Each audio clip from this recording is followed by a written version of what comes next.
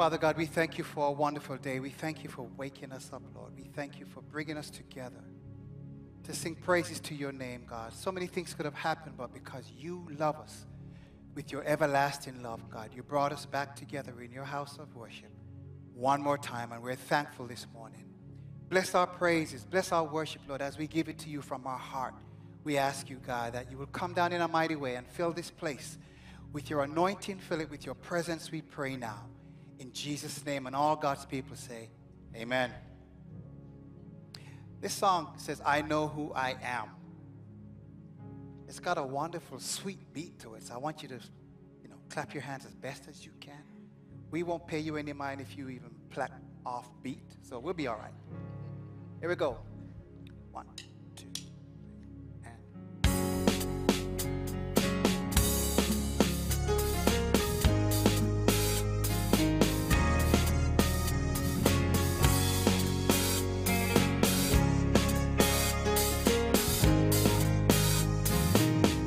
Are chosen. We are a chosen generation, called for to show His excellence. All I require. All I require for life, God has given me. I know who I am. Sing it again. We are a chosen. We are a chosen generation, called for to show His excellence. All I require.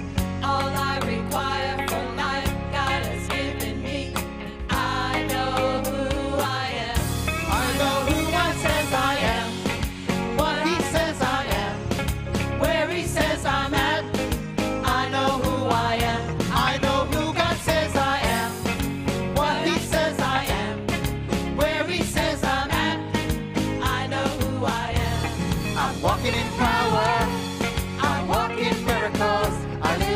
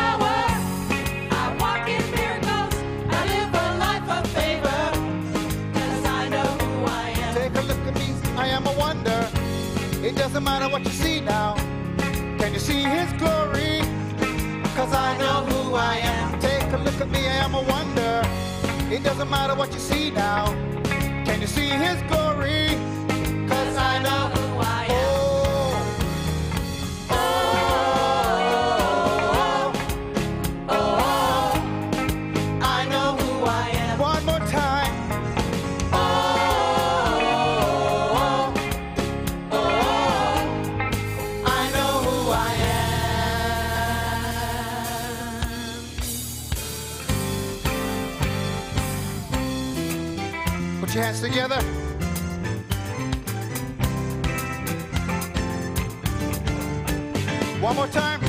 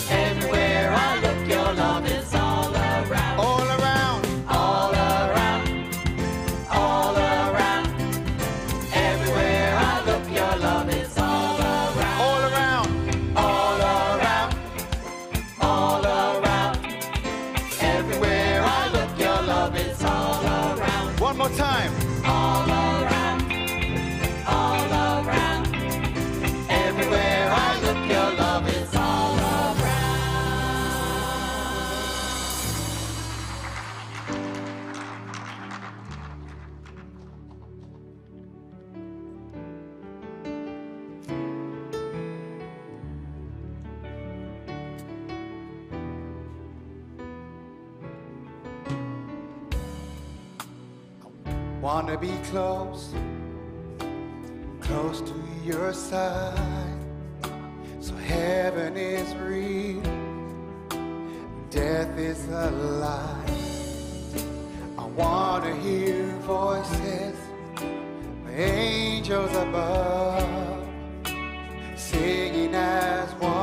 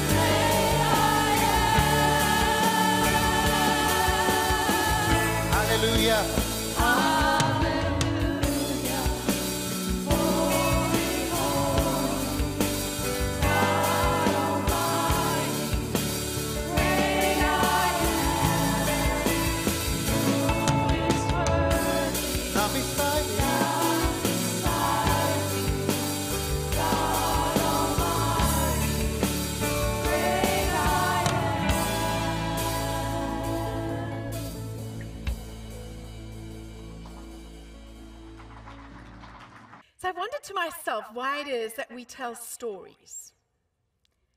We tell stories to experience and to teach lessons, right?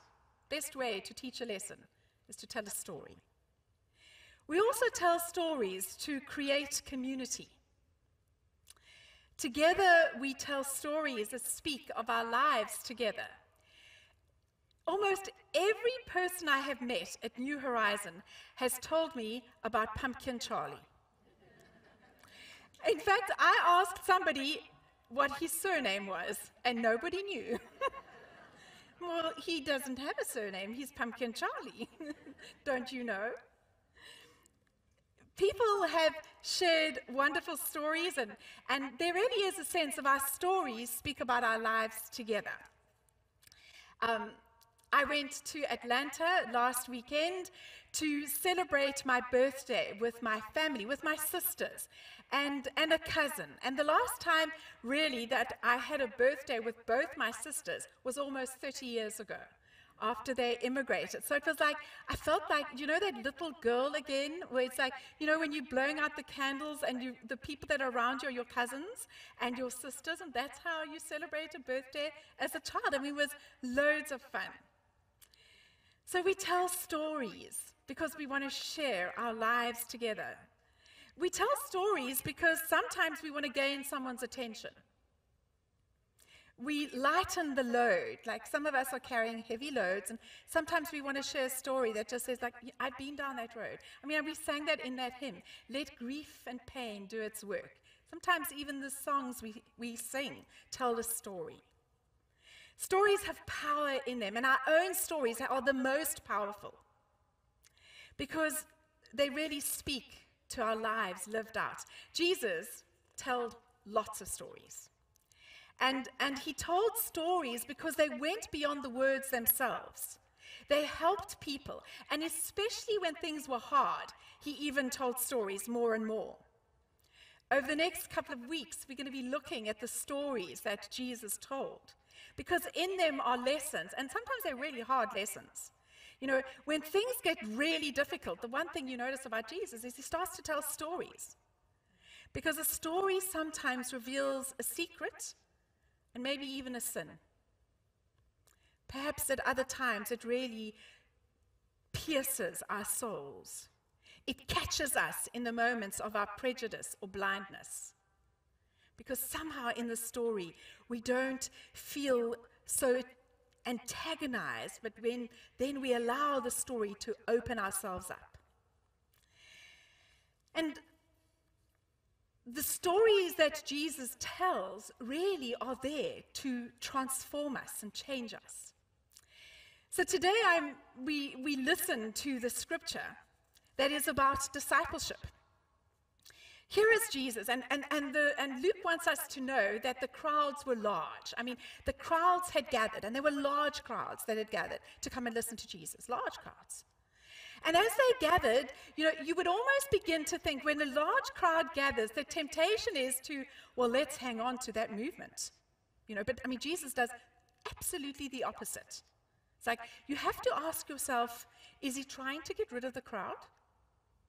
I mean, he really begins to go into the essence of what is really challenging. He says, Well, if you want to be a disciple and listen to the word, it's about discipleship. He says, If you want to be a disciple, it's really simple. You need to, if you don't hate your father, mother, spouse, brother, sister, children, if you don't pick up the cross, and if you don't sell all your possessions, well, then you can't be a disciple. And so this morning I want to speak about two things. Number one, we are called to count the cost. Don't you like, you know, don't, don't you before you buy something, like you want to know what's the bottom line? Don't you do that? And don't you sometimes Google search, like the best deal? I needed to buy a TV, and I Google search that. so you kind of, we all look for the best deal. Don't we want to know what's it going to cost me? I mean, have we not asked this about our faith? What is it going to cost me? This particular passage is not about salvation. Let, let us be clear. We are saved by grace through faith. None of us has enough collateral to buy salvation. We can't buy salvation by our works. We can't buy salvation by our good deeds. Salvation is a free gift, and that's what we celebrate. And we remind ourselves that today at communion. We receive and, and I love the fact that in the Methodist Church that children receive communion. And I have heard in every single context, in every single world, but what do they understand about communion? They don't, but neither do we. Because really, it's the mystery of God's grace that says, Come, come and eat and share of this one meal and know that you are so profoundly loved. Doesn't matter what you've done, who you are, where you've been, you are profoundly loved. And I've sacrificed my life for you.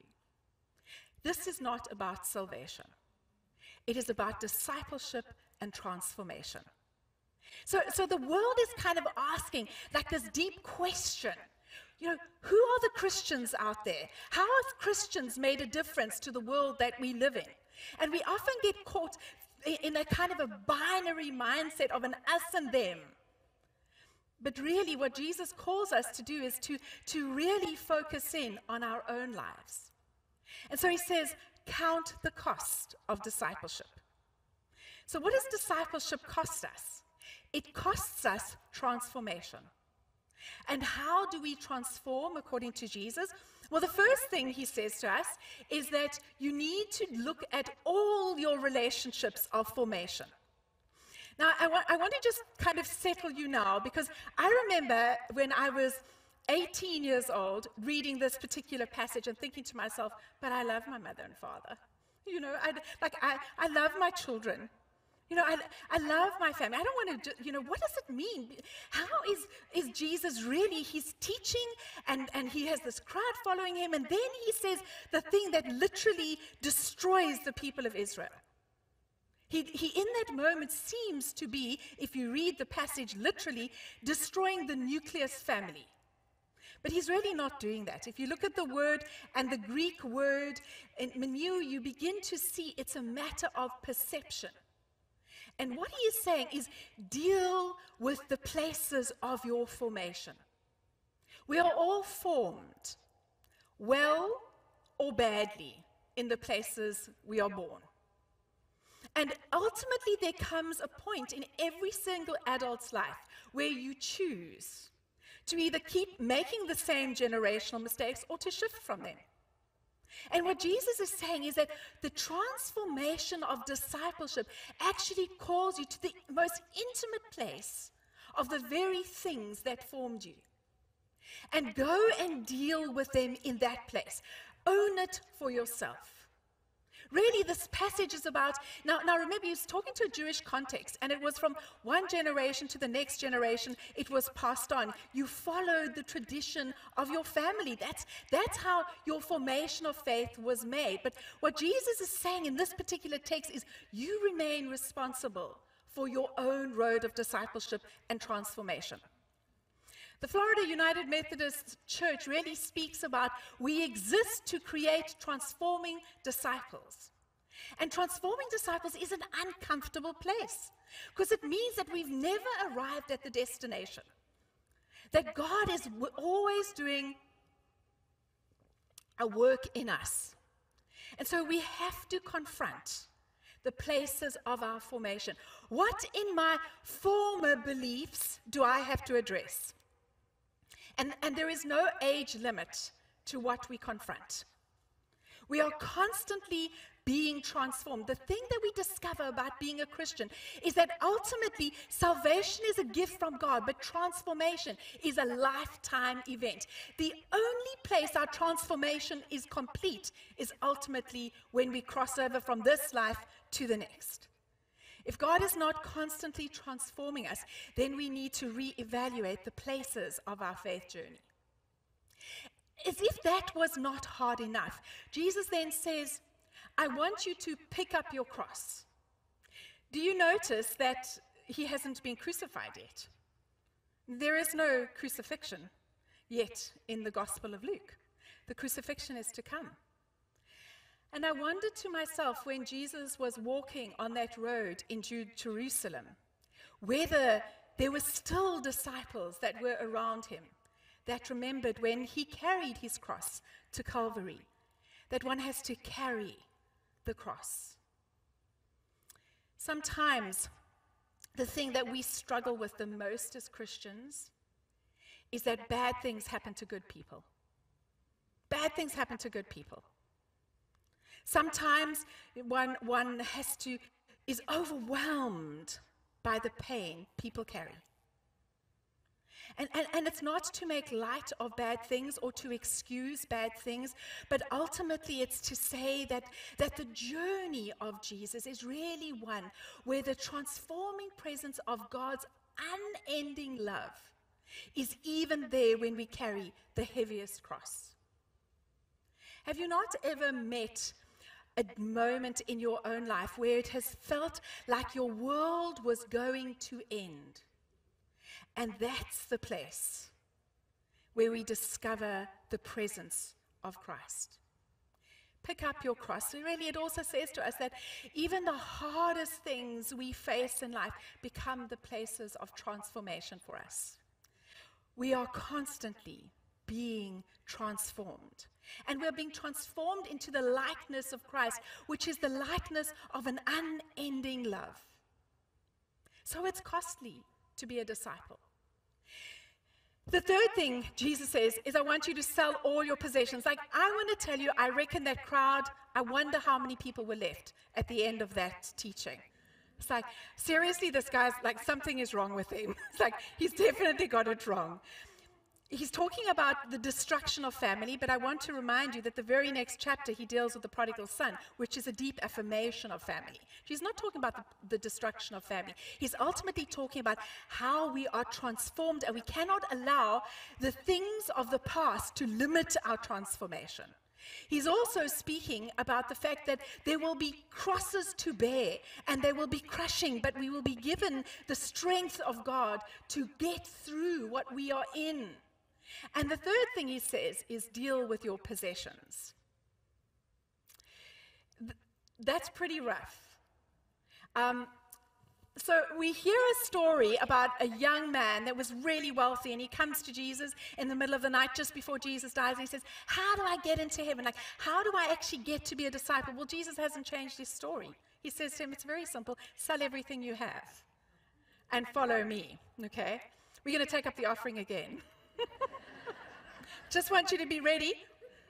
Okay, Dave? it's like, you know, it's like, what, my Lord, what did, you know, you brought us this woman from Africa and now she's like, she doesn't know what she's talking about.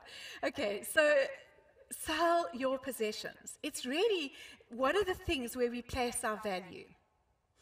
I'm afraid that it seems to be that, that we cannot become lukewarm Christians. Because it's like, you know, we know the Laodicean church, like become lukewarm Christians, like we neither here nor there. You know, but ultimately there is a there is a passionate fire when we become transformed disciples of Jesus Christ. It means the work is never done. Doesn't matter how old we are young we are, the work is never done. And God keeps transforming us. Daniel was a little boy, and he's like a big, young, wonderful man now. And um, I decided to buy him Lego. He got a gift um, as Lego as a little boy. But we had never done Lego before. We had never played with Lego. I'd never played with Lego. So I've seen a couple of people in, in your place, Nick. You love Lego.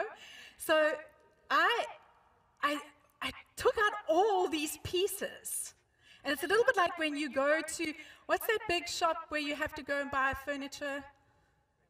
IKEA. And like when you end up with half the number of screws in your hand afterwards. Has anybody ever done that from IKEA? That is why we don't go to IKEA. So But ultimately, like you get these pieces and you get an instruction manual. Thank you, Lord for an extra. And if you can follow the instruction manual, you'll make the bionicle at the end of the day. And I remember Dan and I spent hours and hours playing Lego when he grew up. It's a little bit like being shaped into what God wants us to become. The instruction manual is the scripture. The instruction manual are our experiences. It is our tradition and it's our ability to reason. But ultimately, God is always transforming us. Sometimes the loveliest part about Lego is you can break that up and you can remake it. So that really is the choice we are making. I am no longer in control, God. I hand it over to you. And that is not easy. But that is the cost of discipleship. So if you want to know the bottom line, this passage gives you the bottom line. It is a sold out life for God, Jesus first. You know, the second thing that I really want to speak about is it's, it's really a decision where we say yes to transformation, to an uncomfortable journey, a deconstruction of things, but ultimately to a place where, where we know that the work of God is being done in our lives. So Jesus says, I know this is difficult for you, so I'm going to give you just two touch points. I'm going to tell you about a king. You know, before he goes to war, he looks at what he has and he, and he assesses his enemy's position and he weighs in on whether or not he has what it takes to defeat the enemy. And if he doesn't, he strategizes and he gets ahead of the game with, with his peace talks and he negotiates a different type of settlement. Be careful when you tackle life without looking at what's in your hand.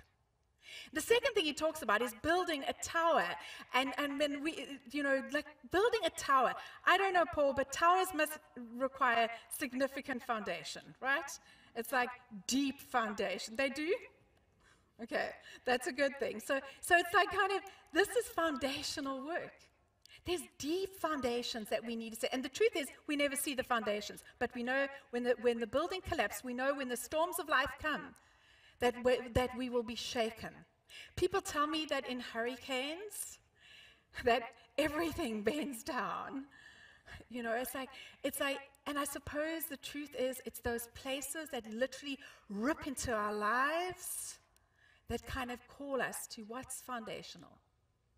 So if we want to be transformed disciples, we, make, we pay attention to the foundation. And you know, the truth is, nobody sees the foundation. No one sees it. No one sees what you do behind closed doors.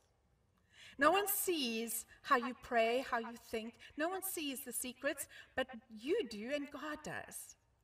And so the, the call today is to say, God, I'm going to say yes to a transformed discipleship. I'm going to say yes to my thinking that needs to be changed. I'm going to say yes to the way in which I deal with the people that are challenging in my life. Who right now in your life is challenging you to the point where the words you want to use cannot be used in public. You know, what, what are you facing right now that is really crushing soul? And, and the message we keep getting from the scripture is go to the foundation of things. Go to God. Go to God. Deal with evil, deal with sin, deal with pride, deal with pain in the foundations, deal with God. And ultimately, we will be shaped. Really, I think what Jesus was saying when he turned around to his disciples is saying, This is not just a religion. When he spoke to the Jewish leaders, he said, This is a lifestyle. You don't get to hang on to your offenses. You don't get to, to live a life where you can be cruel to other people. You, you really get to, you, you don't get to come into places of salvation based on what others have done. But he speaks about we choose with our mind, with our heart, with our souls, with our eyes, with our hands, with our actions to be a disciple. And so, disciples are real people living out a real faith in a real world that is tested because we know in God we are loved. I suppose in some ways, when Jesus preached this on his way to Jerusalem, he was sifting the crowd. And there are times where we need to be shaken. John Wesley used to say, unless you are offended or convicted, you've never heard the gospel. And so I suppose this is a moment where all of us are called to the economy of God's transformation in our lives. So let us come before God in prayer.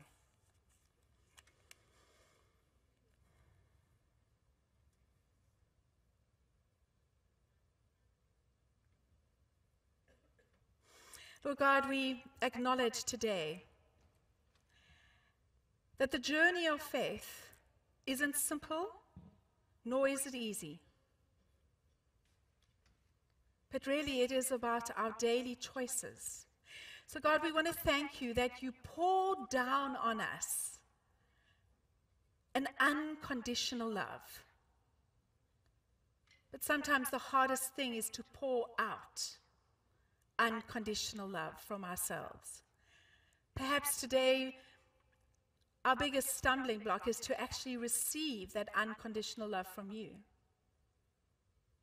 Maybe we have been the barrier to receiving your unconditional love. And so, in the mystery of communion now, we pray that somehow your spirit will touch us with an unconditional, never ending love.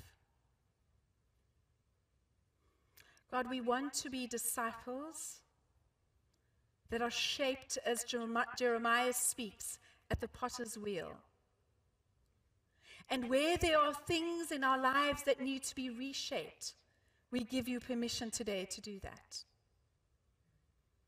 Transform us into the likeness of Christ so that we may live life in all its fullness. In Jesus' name we pray. Amen. Friends, we're going to prepare for communion now, but before we do that, we'll probably find the children are going to come in at some point. Um, I'm going to invite those that are coming into membership, if you'll join us in the front, please, in this moment, so that we can celebrate you. So we have member, new members today. We have Debbie, Diane, and Marisol. So I know this is hard, so I'm going to make it easy for you. I'm sorry to do this to you. So you're going to turn and face the congregation. Is that okay? So I know it's difficult, so I thought I'm going to make it easy. I'm going to stand over here, right over here, because then it's easy, because I'm part of the congregation right now. And so, friends, it's always an exciting time to, to be amongst people that come into membership because the body of Christ is made up of all of us that are here with different gifts. And so today we want to celebrate that. I know some of you have been around for a long time, and some of you, and I know that Marisol, you have been here and now you're back. Um, after a number of years, God has led you back here. But it is a place to celebrate your presence and your gifts and to confirm again what we believe is the kingdom of God. And so I ask you, do you, as Christ's body, and this is us, do you, as Christ's body, the church, reaffirm both your rejection of sin and your commitment to Christ? Will you nurture one another in the Christian faith and life and include these people that are now before you in your care?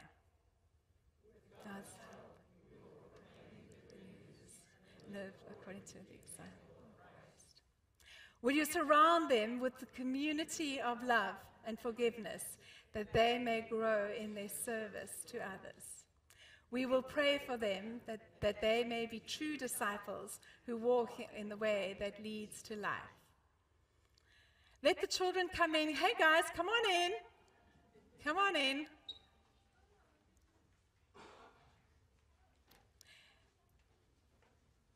Now it is our joy to welcome our new, should we say sisters? Let's just say sisters. Now it is our joy to welcome our new sisters in Christ.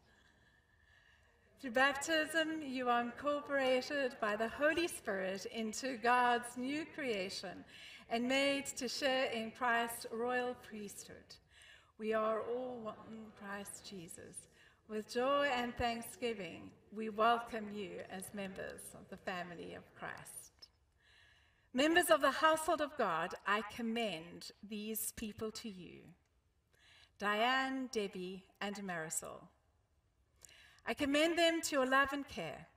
Do all in your power to increase their faith and confirm their hope and perfect them in love.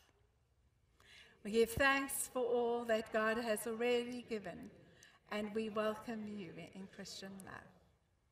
As members together in the, in the body of Christ and in this congregation of the United Methodist Church, we renew our covenant faithfully to participate in the ministries of the church by our prayers, our presence, our gifts, and our service, that in everything God may be glorified through Jesus Christ.